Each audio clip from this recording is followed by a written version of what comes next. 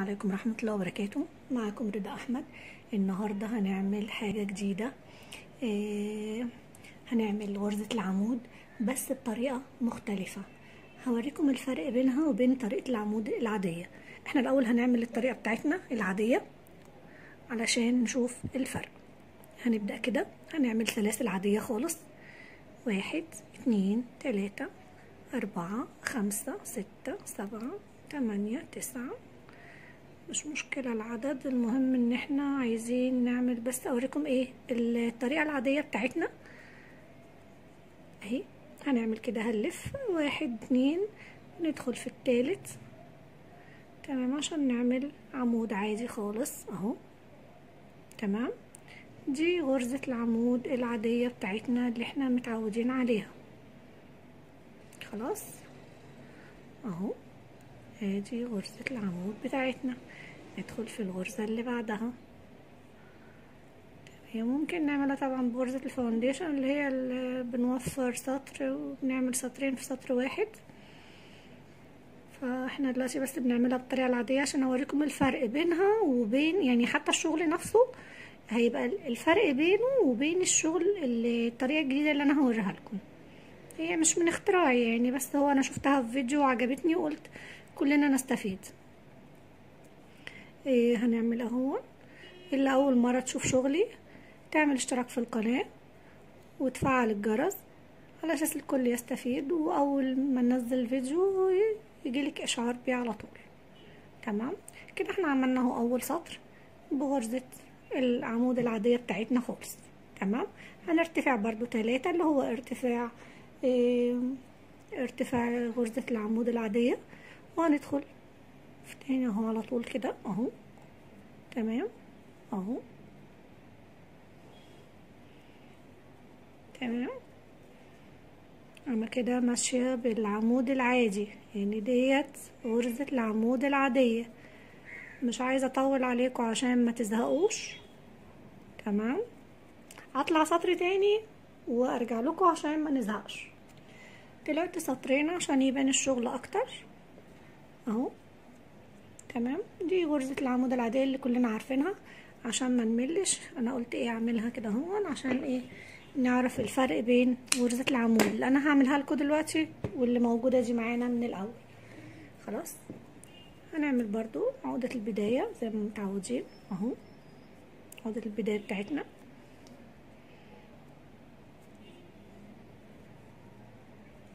تمام. ادي واحد اتنين تلاتة أربعة خمسة ستة سبعة تمانية تسعة عشرة. هنعمل يعني نزودها شوية عشان بس إيه الفرق يبقى باين في الشغل. هنعمل إيه بقى؟ هنسيب أول غرزة وندخل في الغرزة اللي بعدها. شايفين؟ أنا ملفتش ما عملتش غرزة عمود. غرزة العمود أنا بلف زي ما وريت لكم من شوية. لا أنا مش هلف. أنا هسيب أول غرزة وهدخل في التانية مش في التالتة. تمام؟ أهو. ادخل في أول غرزة هنطلع. وأروح واخدة كده عاملاها. بعد كده. شفتوا بقى؟ هندخل في اللي بعدها ونسحب. بقى عندي اتنين. هشتغل أول واحدة لوحدها وبعدين أشتغل الاتنين دول مع بعض. تمام؟ هدخل في اللي بعدها. يا رب الفكرة تكون وصلت. أهو. تمام؟ هي شبيهة بغرزة الحشو بس هي طبعا دي غرزة عمود بس ديت ميزتها إن بيطلع لك العواميد نفسها جنب بعضها. مفيش الفراغ اللي موجود في غرزة العمود العادية اللي إحنا بنعملها. أهو. تمام مفيش الفراغ اللي بين العواميد. بتحتاجيها بقى لما بتيجي مثلا بتعملي موديل فيه مثلا غرزة عواميد ثابت ثابت سادة. فبتحتاجي انك انت تعملي العواميد تبقى ضيقة وقريبة من بعض. غرزة العمود العادية بيبقى فيها فراغ زي ما إحنا شفنا هنا في في الغرزة دي. اهو. شايفين؟ اهو. تمام. بنمشي كده. اهو. نشتغلها. يا رب الفكرة تكون واضحة اهو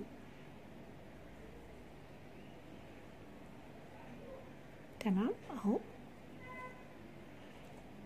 ادي آخر غرزة عشان أوريكم إزاي هنطلع للسطر اللي بعده. تمام؟ أهو. شفتوا؟ شايفين الفرق؟ شايفين الغرزة ضيقة إزاي؟ لو أنت هتعملي مثلا كم أو هتعملي جزء في بلوزة أو في شغل وأنت محتاجة إنك أنت ت... تبقي عايزة غرزة عادية بص شايفة هنا هون بصي الفرق. بصي الفرق بين الغرزة والغرزة شايفين؟ شايفة دي واسعة إزاي شايفة دي ضيقة إزاي ادي الفكرة بتاعتها. هنرتفع واحد اتنين بس مش هنرتفع أكتر من اتنين. خلاص أنا مش هدخل هنا أنا هدخل هنا. عشان أنا كده لو دخلت في الأولانية هيبقى بعمل تزايد. أدي واحد أهو وأروح عاملة كده. تمام هدخل في اللي بعدها. كأني بعمل غرزه حشو بس أنا بدل ما غرزه الحشو اخدها كلها لأ ده أنا هشتغل أول غرزه اول غرزه وهشتغل التاني. أهو شايفين؟ موضوع سهل وبسيط وجميل. دعواتكم بقى كده هون واللي يشتغل بيها ولو عجبتكم الفكرة اعملوا اشتراك في القناة عشان يوصلكم كل جديد. وإن شاء الله كل ما ألاقي أي حاجة جديدة أو أنا أخترع أي حاجة جديدة إن شاء الله أنزلها لكم. شير للفيديو عشان الناس كلها تستفيد.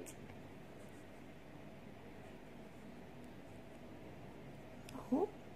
تمام.